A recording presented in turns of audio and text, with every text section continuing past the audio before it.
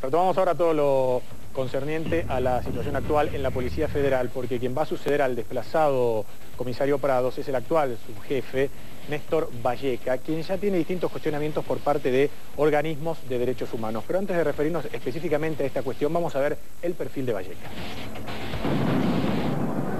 Bueno, hay personal, personal policial lesionado. Este es el nuevo jefe de la Policía Federal, Néstor Valleca, quien hasta ayer ocupaba el segundo lugar en la fuerza.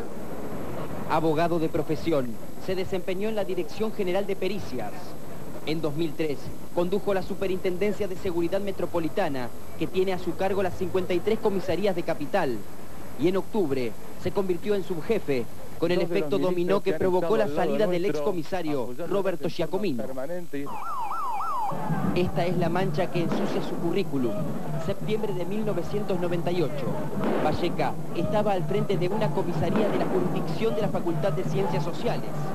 Estudiantes e hijos de desaparecidos hicieron un escrache contra el ex represor Miguel Echecolatz y fueron violentamente reprimidos. Durante los incidentes, un joven casi pierde un ojo. ¿Kirchner estaba al tanto de estos detalles? La respuesta es sí, y el propio Vélez se encargó de destacar que al presidente no le pareció relevante a la hora de nombrarlo. Eso es parte de la vieja cultura política. Según el primer mandatario, no hay una prueba en la causa judicial que dé cuenta de la responsabilidad directa de Valleca en esos episodios.